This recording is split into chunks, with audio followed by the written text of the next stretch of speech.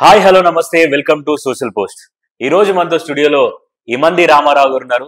మనందరికీ తెలిసిందే sir senior journalist movie analyst and political analyst కూడా. సో సార్ మనతో ఇవాళ స్టూడియోలో ఉన్నారంటే మనం వాటికి సంబంధించిన అన్ని విషయాల గురించి అడిగి మనం చాలా బ్రీఫ్గా ప్రతి ఆన్సర్ మనం సార్ దగ్గర నుంచి తెలుసుకుందాం.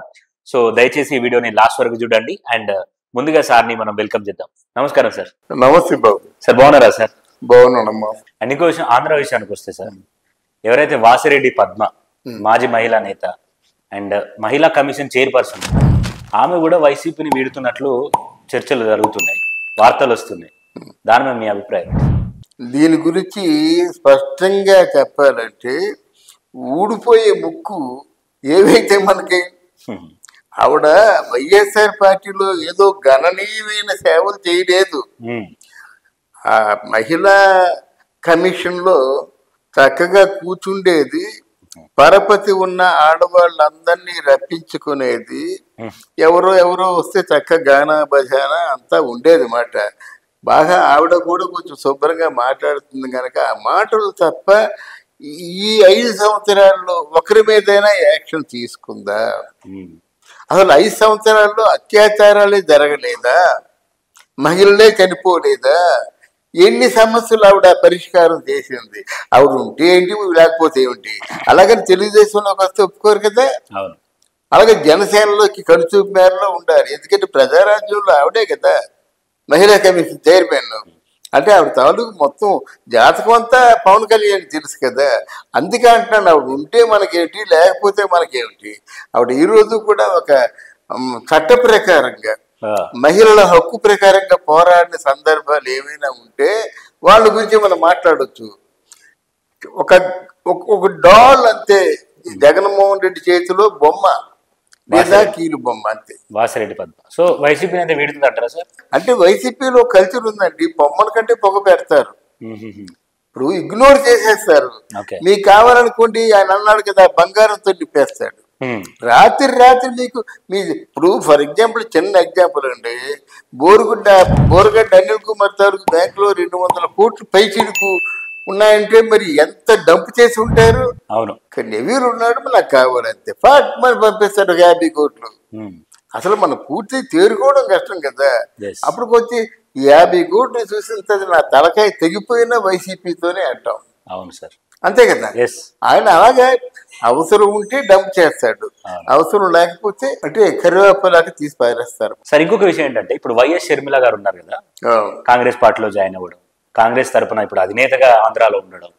సో ఇప్పుడు అసలు వైఎస్ షర్మిల గారి పరిస్థితి ఆంధ్రాలో ఏంటి? మీ అభిప్రాయం అవును. వైఎస్ షర్మిల అసలు ప్రారంభంలోనే తప్పటడుగేసింది ఓకే. ఆవిడ తెలంగాణ వ్యక్తి కాదు కదా.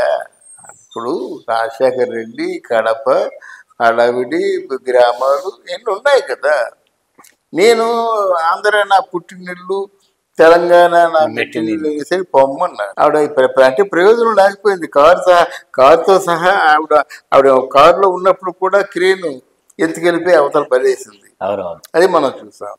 పోలీసులతో గొడవ పడ్డారు. విజయమ్మ గొడవ పడింది. ఇప్పుడు ఆ స్థాయిలో ఉన్నాడు పోలీసులతో గొడవ పడకూడదు కదా. నీకేమో మరి కొంచెం డబ్బు ఉందని చెప్పి డబ్బు తప్ప వాడికి ఏమీ లేదు కదా. కాంగ్రెస్ చైర్మన్ అంటున్నారు ఎవరు ఎవరు ఎవరు ఈవిడికి సహకరించారు? ఎంతమంది ఈవిడ వెనుకున్నారు వాళ్ళ- విజయమ్మ ఆవిడే కదా తిరిగారు. కాంగ్రెస్ అసలు ఎవరు రాలేదు కదా.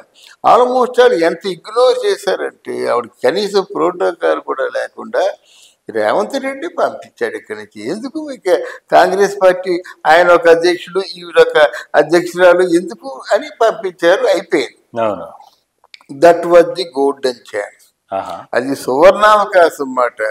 నిజంగా కాంగ్రెస్ అంటే నూట ముప్పై సంవత్సరాల వయసు ఉన్న కాంగ్రెస్ పార్టీలో అధ్యక్షురాలుగా ఉంటూ కేవీ కేవీపీ రామచంద్రరావు తులసిరెడ్డి రఘువీరారెడ్డి అట్లాంటి నిష్ణాతులు అందరూ కూడా ఆవిడ వేదిక మీదకి వచ్చారు ఆంధ్ర రాగానే. దాన్ని ఉపయోగించుకోవాల్సింది. అవును. లేకుంటే నువ్వు నిన్ను ఆంధ్రదేశానికి అధ్యక్షుడు అధ్యక్షురాలుగా పంపించారు కానీ పులివెందుల్లో మీ అన్నితో పోట్లాడమని పంపించలేదు కదా. ఓకే. ఆంధ్రదేశంలో సమస్యలు ఎంతమందికి ఉన్నాయి? ఒక సునీతికే లేవు కదా. నువ్వు అక్కడ గూడు కట్టుకొని మొత్తం అంతా పులివెందుల్లో ఉన్నావు. నీ అన్నయ్య గురించి చెప్పరాని మాటలన్నీ నువ్వు చెప్పావు. అవును. నీ గురించి అనరాని మాటలన్నీ మీ అన్నయ్య అన్నాడు. తర్వాత మీరు క్యారెక్టర్ కోల్పోవటం లేదు? యు లాస్ట్ యువర్ క్యారెక్టర్ ఇప్పుడు కాంగ్రెస్ గురించి మాట్లాడే హక్కు ఆవిడకి లేదు. ఆవిడ మాట్లాడితే నీ పూర్తిగా ఏకేక తోక తోక తీసి అవతల పారేస్తారు కాంగ్రెస్ గురించి అయితే మాట్లాడతావు? నువ్వు బాధ్యతాయుతంగా ఉంటే మాట్లాడు. అవును. నిన్ను అధ్యక్షురాలు చేసి ఎలక్షన్ ముందు పంపించినట్టయితే పులివెందుల్లో ఒక విడిది ఏర్పాటు చేసుకొని మొత్తం నలభై రోజులు అక్కడే ఉన్నావు. ఈ నలభై రోజు నలభై రోజుల్లో రాజకీయమైన మాట్లాడావా? ఎంతసేపు రాజకీయ రాజశేఖర రెడ్డి బిడ్డ అని నువ్వు అన్నావు రాజశేఖర రెడ్డి బిడ్డ అని ఆయన అన్నాడు నా దృష్టిలో రాజశేఖర రెడ్డికి ఫ్లైట్ క్రాష్లో చచ్చిపోలేదు. వీళ్ళిద్దరు కలిసి మాటలతో చంపేశారన్నమాట. అంటే రాజశేఖర రెడ్డి బిడ్డ ఇంత తేలిక మనస్తత్వం కలదా? Okay sir. అనేది వచ్చింది మాట. నెక్స్ట్ షర్మిల ఒక జగన్మోహన్ రెడ్డి కాంగ్రెస్ పార్టీలో విలీనం చేయడానికి ఉపయోగపడుతుంది. రాయబారాలు జరుగుతున్నాయి. వాళ్ళ సొంత తగాదాలు ఉన్నాయి కదా ప్రాపర్టీస్.